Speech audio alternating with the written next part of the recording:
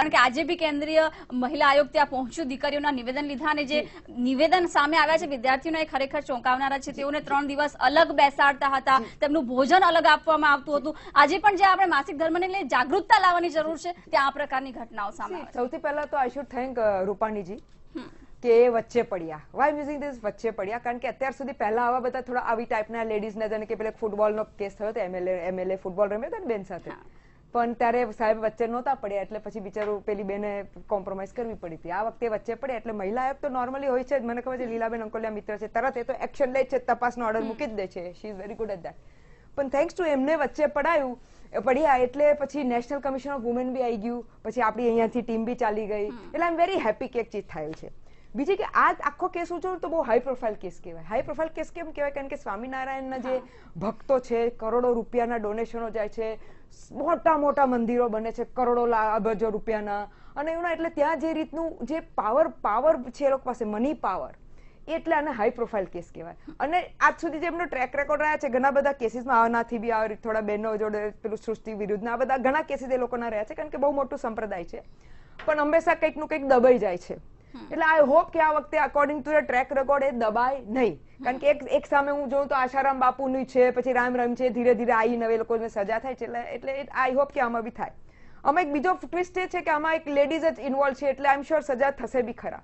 હવે જ્યારે આપણે આ બધી વાત કરી છે, તો થોડું માસિક ધર્મની વાત કરી લઈએ કે પહેલા જમા, કારણ કે ઘણીવાર શું છે કે આ લોકો રિલિજનના નામે બધું પોતાનું ટ્વિસ્ટિંગ કરીને જે પોતાનો ફાયદો થાય, મેં ઘણા સાધુ સંતોને જોયું છે કે રિલિજનના નામે લોકોને ગભરાવે, પોતાના ફાયદા હેઠે અને એને આખું ટ્વિસ્ટ કરી દે. એક્ઝામ્પલ હું આનો જ આપવા માંગુ છું કે માસિક ધર્મમાં પહેલા એટલા માટે થતું હતું કે બહેનો લેબરનું કામ કરતી લેબર્સ જોબ કરે બીજી ગામડાની બહેનો આતે, એટલે એ લોકોને એ લોકોના, કારણ કે જ્યારે તમે માસિક ધર્મમાં બોડીના બહુ બહુ ચેન્જીસ આવતા હોય અને એટલે એ લોકો માટે આપણે એવો ત્રણ દિવસનો આપીએ તો કે બિચારાને રેસ્ટ મળે. અને જે ઘરની સાસુ હોય કે જે બીજું હોય થોડું કામ કરી લે.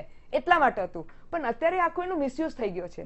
બીજી વાત કે જે લોકો હવે આજની તારીખમાં અગર મારા જેવી અમારી જેવી બધી બહેનો જુઓ તો મારા ખ્યાલે દસમાંથી આઠ બહેનો ગોલી ખાય છે. કારણ કે આજની તારીખમાં એવું છે કે ગોલી કારણ કે ચેન્જીસ તો આવવાના જ છે. યુ હેવ ટુ ગોલી ખાઈને તમારે પેન કિલર લઈને જવાનું છે કામ તો કરવાનું જ છે. પણ જે લોકો આવી રીતે સંસ્થા છે એમાં મિસયુઝ થાય છે. કાલ સુધી ટ્રસ્ટીઓ એવું કહેતા હતા કે અમે પહેલાથી અમે પહેલાથી કહી દીધું છે આમ અમે એડમિશન વખતે તમે આપી દે કે ટિંગ ટિંગ ટિંગ કે આ માસિક ધર્મ આમાં. અંદરની બહેનો કહે છે કે ના ખોટું બોલે છે.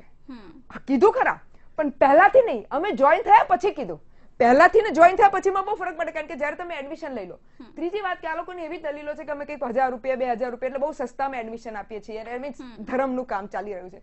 તો મારે કેવું છે કે તમે આવું સસ્તું કરો ધેટ મીન્સ કે તમારો હક બને છે કે તમે બહેનોને આવી રીતે કાલ ઉઠીને બીજું બધું બી કરશો. આ તમારો હક બને છે તમારે બહેનો જોડે આવું કરવાનો. એટલે અત્યારે પ્રોબ્લેમ એ થઈ રહ્યો છે બેન કે અલ્ટિમેટલી આ જે સંસ્થાઓ છે, કારણ કે હું કહી દઉં, હું અહીંયા ગાંધીનગરની દીકરીઓની સ્વામિનારાયણની સંસ્થા જોડે કામ કરું છું.